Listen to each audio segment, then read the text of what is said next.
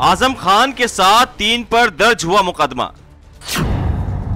DM पर आपत्तिजनक टिप्पणी का है मामला। शोभा यात्रा के दौरान तीनों के बयान आपत्तिजनक। तहरीर देकर दर्ज किया गया तीनों पर मुकदमा। डीएम पर टिप्पणी करने पर रामपुर से गठबंधन प्रत्याशी और सपा नेता आज़म खान पर आचार संहिता उल्लंघन के तहत मुकदमा दर्ज हुआ है। आज़म के साथ दो और लोगों पर इसी तरह का मुकदमा दर्ज किया गया है, जिसमें बसपा नेता राधेश्याम राही भी शामिल है। डॉक्टर भीमराव अंबेडकर शोभा यात्रा में शामिल हुए सपा बसपा गठबंधन प्रत्याशी मोहम्मद आज़म खान बसपा नेता राधेश्याम राही समेत तीन लोगों के खिलाफ डीएम पर आपत्तिजनक टिप्पणी करने के आरोप में रिपोर्ट दर्ज की गई है।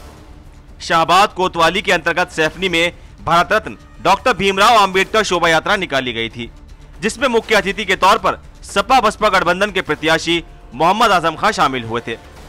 आरोप है कि इसी शोभा यात्रा में आज़म खान ने अपने संबोधन में जिलाधिकारी पर आपत्तिजनक टिप्पणी की थी और साथ ही बसपा नेता राधेश्याम राही पर भी आपत्तिजनक शब्द इस्तेमाल करने का आरोप लगा है और इससे आचार संहिता का उल्लंघन भी माना गया है।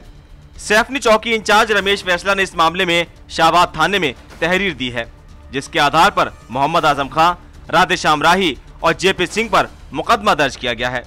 इस लोकसभा चुनाव में आचार संहिता उल्लंघन के मामले में आज़म खान पर सबसे ज़्यादा चौदह मुकदमे दर्ज हुए हैं। जया पर्दा पर दिया गया उनका बयान सबसे ज़्यादा चर्चा में रहा।